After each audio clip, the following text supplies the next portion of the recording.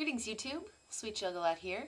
Uh, I know it's been a while and this is going to be a quick video, but I just, just woke up and saw something awesome and I wanted to share it with you guys.